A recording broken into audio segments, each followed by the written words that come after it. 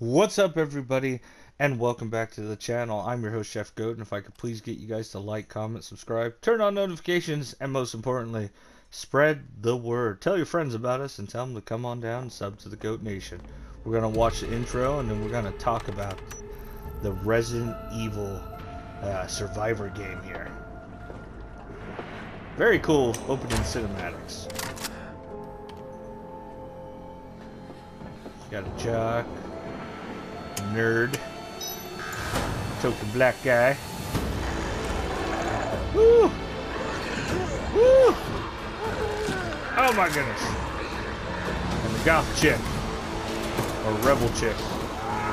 Oh! Dang! Oh! Oh my goodness. Ah, he's doing.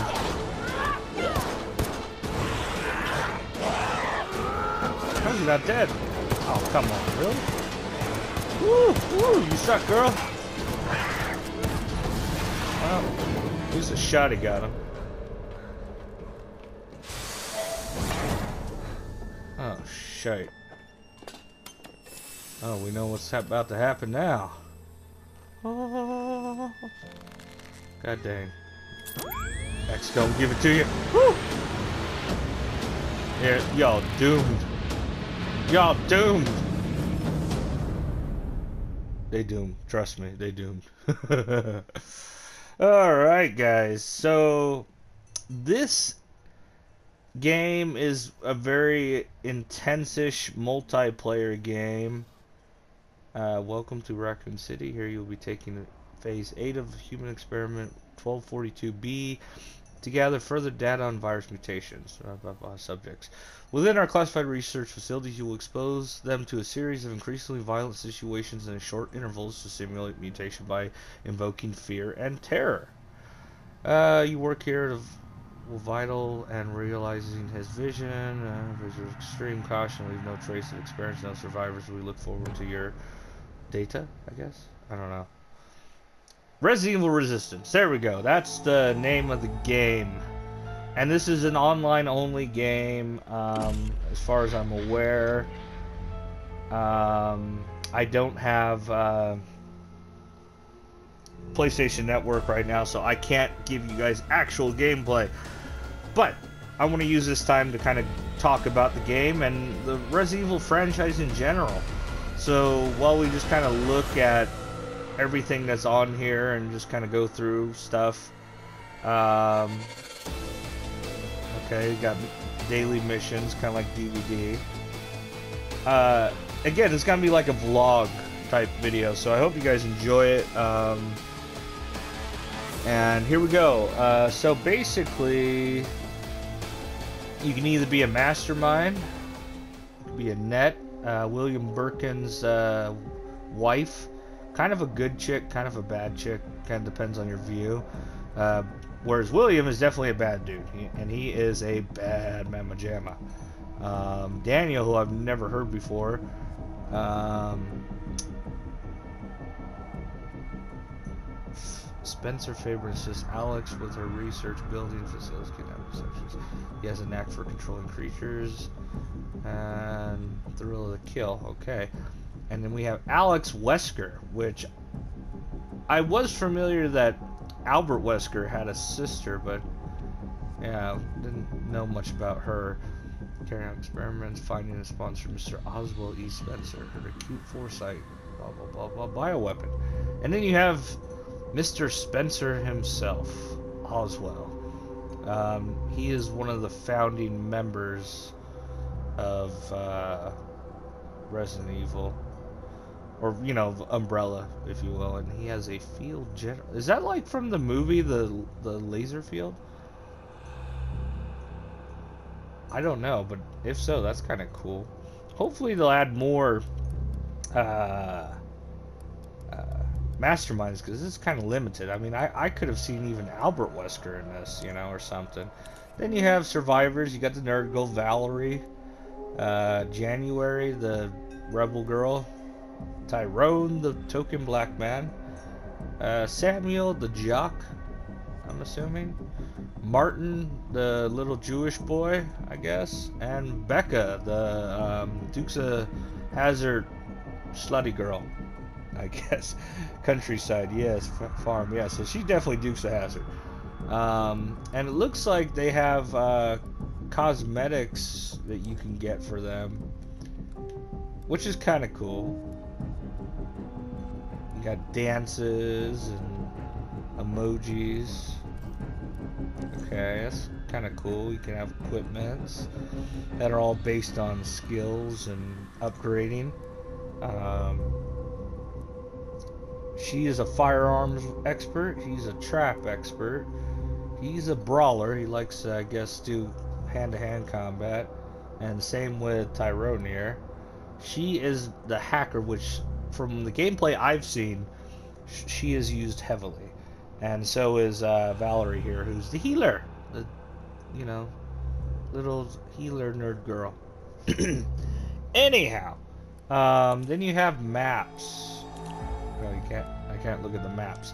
Uh, they have a pretty, you know, decent selection of maps. Um, obviously, you can buy stuff. I'm assuming. Um, yeah. Oh, you get certain things from ranking up. I see that. Okay.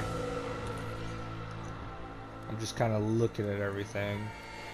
I guess we'll do the tutorial here in a minute, but wanted to get into uh, something I, I left out in the end of the Resident Evil 3 Nemesis series is that um, we were talking about the pros and the cons of this remake.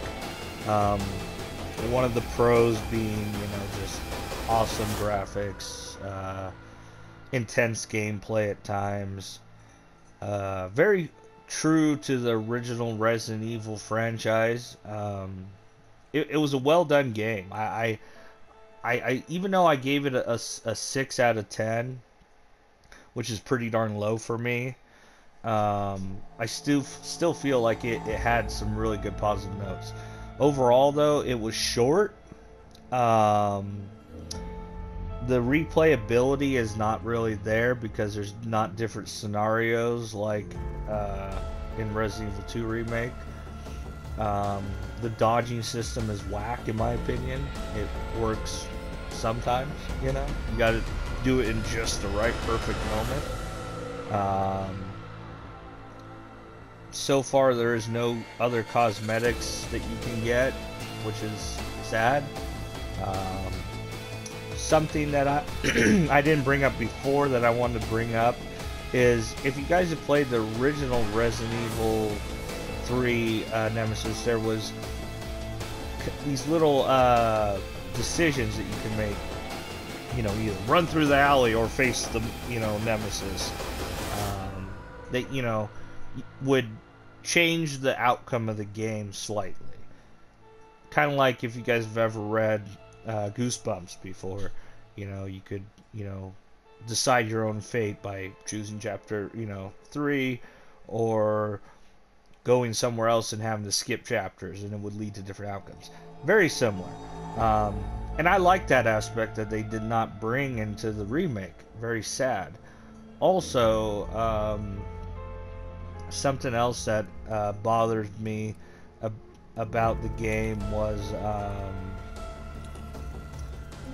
that it it did not have as much to do with the original as I was hoping. Um, mainly in the the cutscenes. The cutscenes to me were really bland, especially the opening cutscene where in the original, you got to see the mercenaries, the UBCS come in, and the cops come in, and them get slaughtered, right? Um, although the opening cinematic with Jill was pretty cool, and they had some tie-ins to original in that. Um, you know, it it just it lacked luster after that. I mean, also Brad, I don't like the fact that Brad just got, you know, a, a STARS member, even though technically he is a pilot and his name is Chicken Heart, you know, uh, nicknamed. He he should have died by Nemesis, if anything. you know, the way he did in the original, not by to you know frickin' zombie bite. I mean, come on. I know he got bit by a zombie, but he didn't turn into a zombie from a zombie bite. He he died and became a zombie from Nemesis shoving his tentacle thing through his face hole. You know, um, and Jill witnessed that. You know, but again, these are my opinions. You know, you don't have to agree with them. You just can just you know hear them out and you know debate with me if you will. Um, I was disappointed in that. I was disappointed in that Nikolai didn't die in, in a a reasonable fashion. I mean, you just see him at the end of the game. Spoilers, by the way, if you haven't watched the uh, last episode. Um, he gets left if you shoot him. He, he's just he's got a you know flesh wound and he's left to you know his own demise on the roof while the nukes come in and um, that is kind of stupid. I liked in the original how Nemesis freaking guts his ass. That to me was a lot cooler, and um, I like that a hell of a lot better. Um, but you know, th- those are little things. Again, the the game felt rushed to me. It felt like if they'd just put a little bit more effort into it and pushed it back maybe a year, you know, that they could have added a lot more and done a lot more. Hopefully, there's DLCs. Um, hopefully, they bring back in the DLCs the mercenaries mode if it isn't already there. I have not yet uh, completed the game in uh, uh, hard mode or whatever.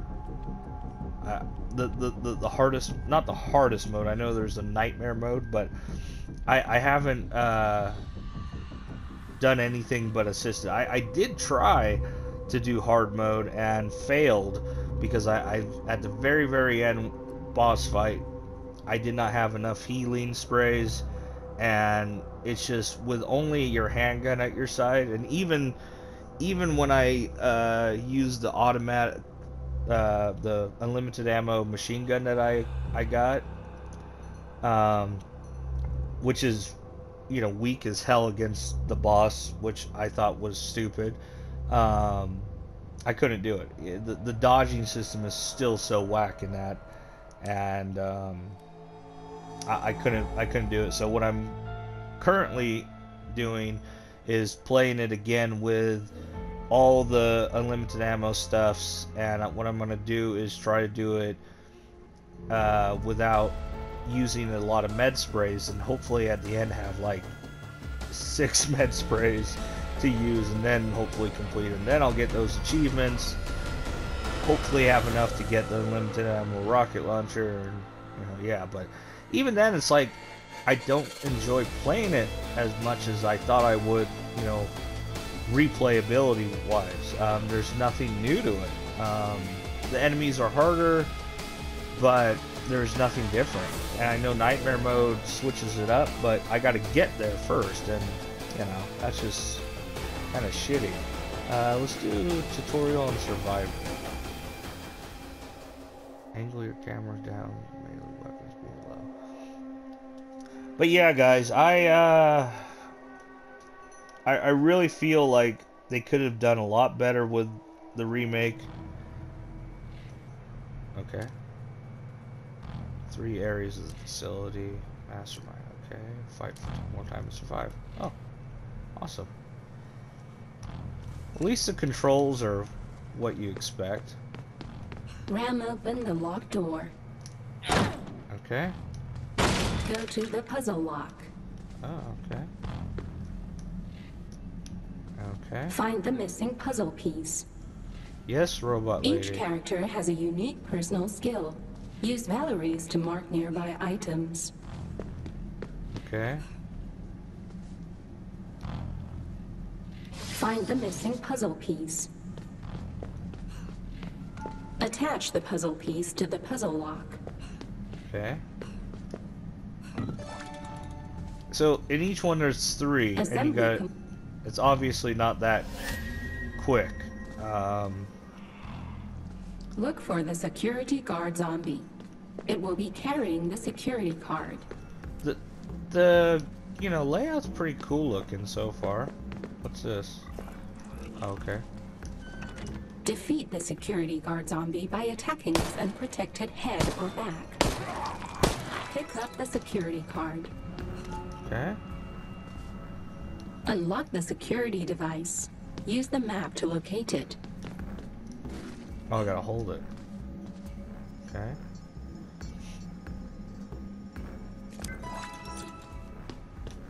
Head to the exit. Yes, ma'am. I'm going. Oh, hello. Your teammate is Oh. near death. Oops. Help him. Here, buddy. I'm gonna rub your booty. You like that? Yeah, you like that? Give Valerie's fever skill can heal injured survivors. Boom. Head to the exit. All right.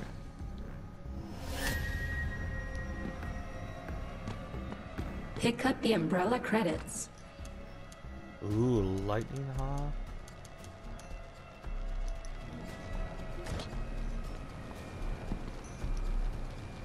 Wait, where are the credits? Oh, Buy a more powerful weapon from the armory. Okay. I, I guess I'm buying uh, lightning hawk, which is Equip cool. your new weapon. There we go. Leave the safe room. Okay. Find and destroy the red biocore. Now, what I've seen in the gameplay of this. Oh, jeez. You have been infected. Yeah, I get that. Find a blue herb. Um, is good players, blue which there's already good players in the game, have uh, like gen rushers and DBD Find and destroy the red biocore. um, rush the objectives in this, and the matchmaking's really unbalanced, and um, unfortunately, uh, a lot of people are getting owned as as the mastermind because of survivors. Final exit unlocked. Activate the switch to open it. because of you know experienced enough players doing this that they're just getting wrecked and even if I had the opportunity to play this online I, I doubt I would just because Survive until the final oh, exit Oh, great. is opened. Because I don't like the fact that it's really unbalanced for the mastermind you know I like balance in games and you know to me that's The final exit opens in 10 seconds. oh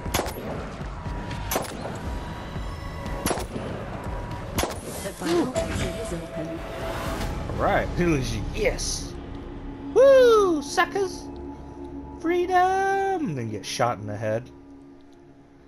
That would be our irony. End of tutorial. Cool. Um, now the mastermind we'll do here in a minute. But yeah, uh, I've seen uh, lab rat achievement. Cool, I guess. Um, I've seen people get owned, and and good YouTubers too. You know, getting owned, especially in their live streams. The things that they don't show in their YouTube videos because they only show you know people doing good. You know, um, they don't show their themselves getting butt whooped most of the time. There is one YouTuber that I've seen show shows himself getting butt whooped, and that to me is you know like why would you show that? I don't know but uh, yeah, it, it it this game has the potential to be awesome. It really does. Um, but it just so far is not very good. Try moving the camera to look at your surroundings. I mean, it, it it looks good. Use the map to switch to the other camera. Okay. It looks good. It has a great basis for a Spawn a game. zombie at the indicated location. Okay. But just is really unbalanced and whoa, wonky cameras. Really wonky. I don't like the, the movement of the cameras. It's slow and wonky.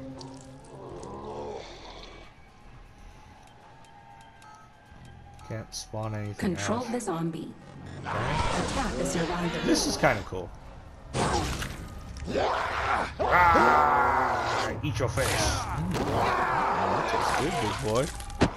Oh, just freaking. Seize controlling the zombie and return to camp. Survivors will respawn at the start of the area when killed, but the time they have remaining to escape will be drastically reduced. No, it isn't. I've what I've seen is like the the time is not drastically reduced. Place a trap at the indicated 30 location. seconds when they get two minutes plus um, is not good. Use them Every every uh, and defeat the you have like I think it is three areas to get past, and every time they get past an area, especially if they rush it, they get two minutes.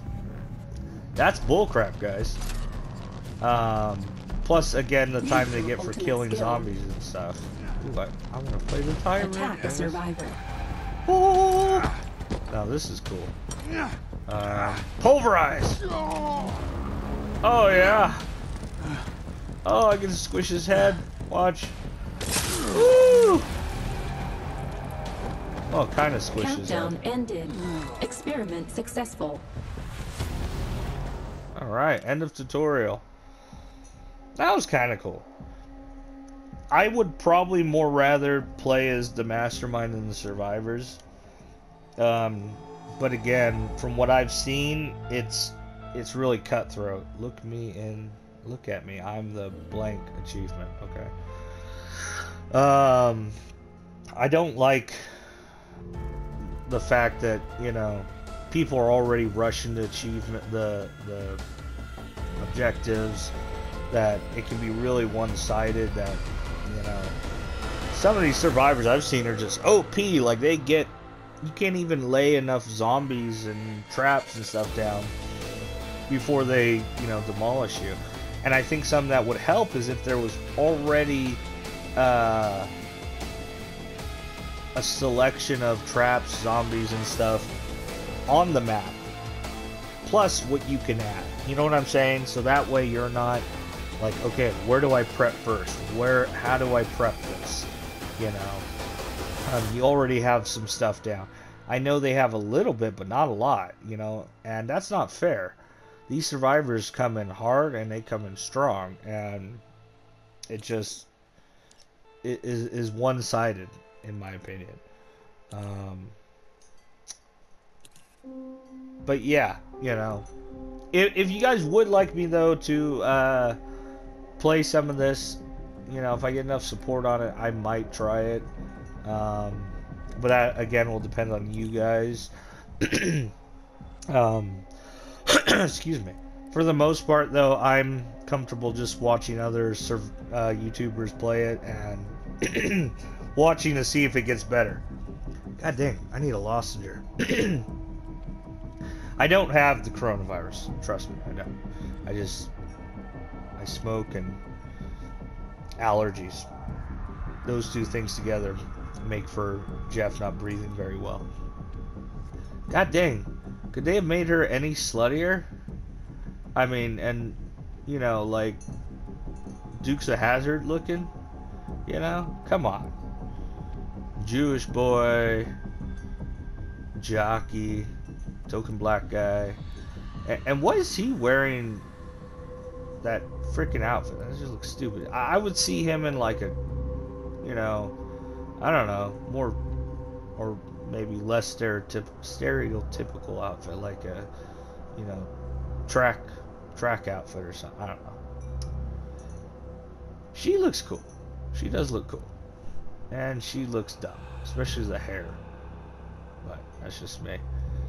Anyways, though, guys, um, yeah, I, I, I, I like the fact they gave this to you for free. It is something extra to play. Um, I heard the wait time though is horrendous, like most, you know, up and coming or controversial games. Um, you know, but only time will tell. You know, maybe uh, it's just you got to get good at the game to be good. You know, some games are skill based, um, but I don't think that this is necessarily balanced yet, and there's a bunch of kinks that need to be fixed. Um, they pulled some of the betas before it was even ready, so that tells me uh, that they weren't ready to release this, but released it anyways, and yeah. I, I always go over quality over quantity, guys. Um, going back with the Resident Evil 3 remake, I think they should have pushed these games back another year and ironed out all the kinks, you know, added stuff, polished some stuff before releasing it because I think both of them could have been out of the gate a lot better than they have been. And, you know, maybe they are to some people, but not to me. I, I really honestly believe that um, it was rushed. You know, they got the success from number two and were like, oh my god, we got to jump on this now. We're going head first.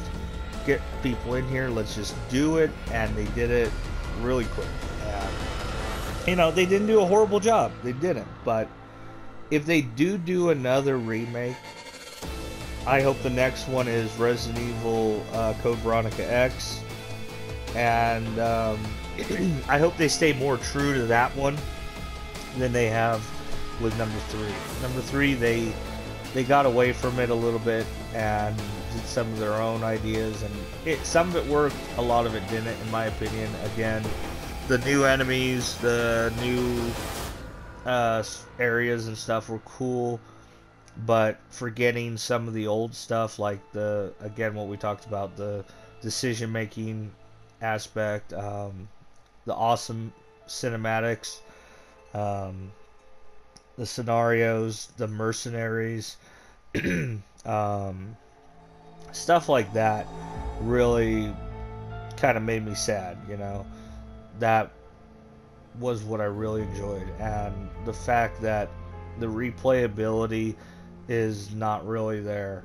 Um, there there's no there's not a big deal getting an unlimited ammo uh, assault rifle that is the base one. If it was the upgraded 60 bullet, you know, all the attachments one, you know, yeah, I can see that. You know, and again, if uh, there was some more cosmetics, some more variations in the gameplay that you could do that wasn't Nightmare mode. Um, yeah, I, I mean, I'm going to try to get Nightmare mode just to see how good or not it is. Um, and again, I hope there's DLCs. I hope they bring the mercenaries into it. Um, you know, I hope there's stuff they add. But only time will tell on that.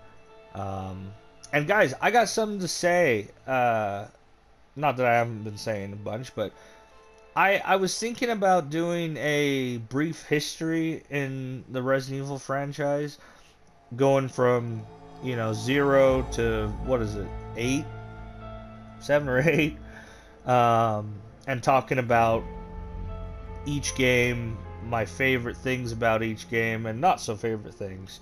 Um, I thought about, you know, that that would be fun to do, but let me know down in the comments if you'd like to see that or not. Um, regardless, I'll probably do it, but I'd really like to know if you guys would like to uh, see more episodes like this where I'm kind of talking and maybe doing some game play stuff at the same time. But um, that's it for now. I hope you guys enjoyed this episode. Um, again, I, I, I hold higher hopes for both this game and um, uh, Resident Evil 3 remake. Um, but only time will tell if those hopes are, you know, come to fruition or not. So, yeah, be sure to drop a like and a comment, and I will see you guys in the next episode. I'm your host, Jeff Goat, and I'm out. Peace.